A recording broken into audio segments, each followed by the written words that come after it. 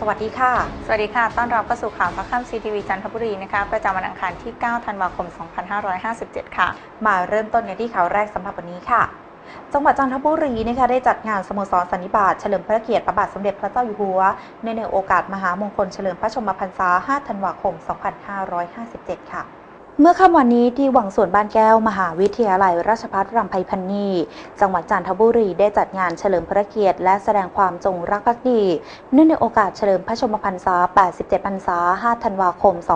2557 เพื่อให้ประสบนิกรทุกหมู่เหล่าในจังหวัดจันทบุรี ได้แสดงความจงรักภักดี และสำนึกในพระมหากรุณาธิคุณ โดยก่อนเข้าสู่พิธีการได้จัดให้มีการแสดงเทิดพระเกียรติจากวิทยาลัยนาฏศิลป์จันทบุรี